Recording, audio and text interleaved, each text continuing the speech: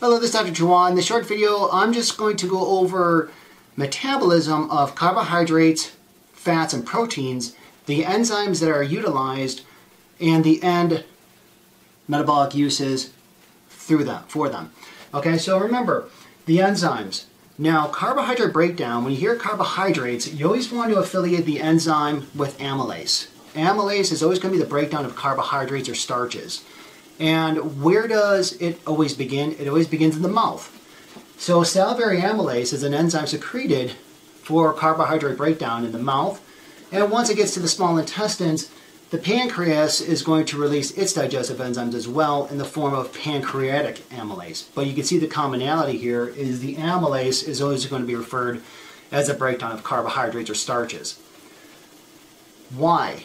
It's going to break it down to its simplest form. It's going to go from a polysaccharide which is multiple units, to a disaccharide, to its simplest form, to a monosaccharide. That's why we have the enzymes. We want to break it down to its simplest form. It gets absorbed. Remember, it starts breaking down in the mouth, and it gets absorbed through the small intestines. The capillary villi to the liver, because again, the liver wants to make use of all the carbohydrates. It's going to make its way from the small intestines through the hepatic portal system, which is the hepatic portal vein. And then once it gets to the liver, it's going to have multiple uses. It's going to make ATP. It's going to be stored as glycogen. Now remember, glycogen, if it's stored glucose. So as I always explain, so glucose in its simplest form is a single grape, whereas glycogen is a multitude of grapes. And it's stored in the liver for energy when we need it later on.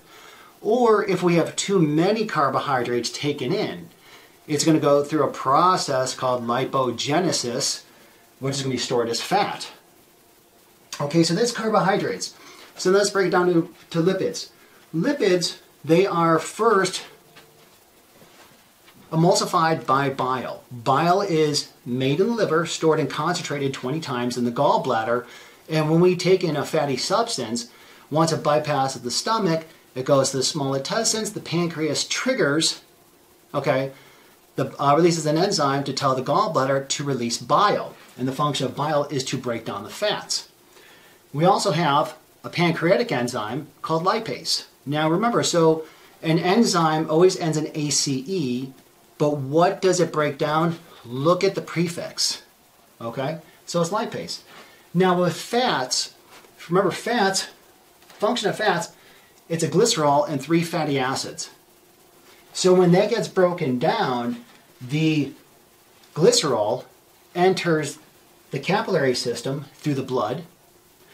The fatty acids enters the lacteal through the lymphatic system. Okay, so you if you see here, you have the microvilli. Yeah, I'm sorry, you have the villi and the small intestines, and you have the microvilli.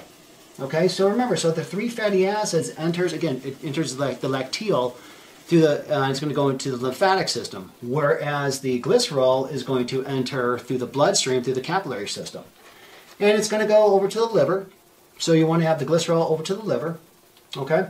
And the, what, what it's going to end up as, cell membrane. Because remember, our cell membranes are a fatty bilayer. Myelin sheath.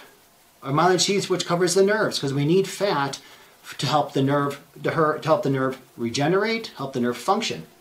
ATP, stored energy, acts as a cushion. Okay, we need we need fat, adipose tissue around our organs for cushion. Also, too, cholesterol, because cholesterol is made from fat, and the cholesterol again that helps utilize over 200 functions of the body, our hormones, stabilize the adrenal system, and so forth and so on.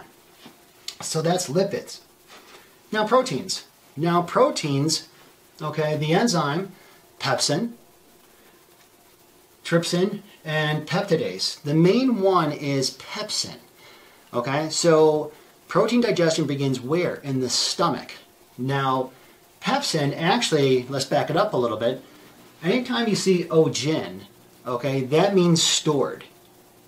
Here it's pepsinogen. Pepsinogen is converted to the active form of pepsin through hydrochloric acid.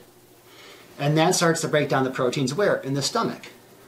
And how it's breaking it down, why? Because it wants to take, again, a nice complex form, which is a polypeptide, and break it down to a simplest form, amino acid. And then once it gets through the stomach, it goes into small intestines, and then here it gets the absorbed in the capillaries and the villi to where? To the liver through the hepatic portal vein. And then once it gets into the liver, the liver processes these amino acids into different uses, a lot of different uses. It's going to make enzymes. More enzymes. It's going to make enzymes for our neurotransmitters, okay? Part of hemoglobin, muscle proteins, and stored energy in ATP. Because remember, when we are utilizing our system, the main source of energy is, is going to come from carbohydrates. It's going to come from glucose. However, when the glucose stores are used up, the body's going to make this dynamic shift and it's going to start pulling off our fatty acids for energy or proteins for energy. Okay, so I hope this is an easier chart to understand the metabolism of the breakdown of proteins, fats, and carbs. Thanks for watching and take care.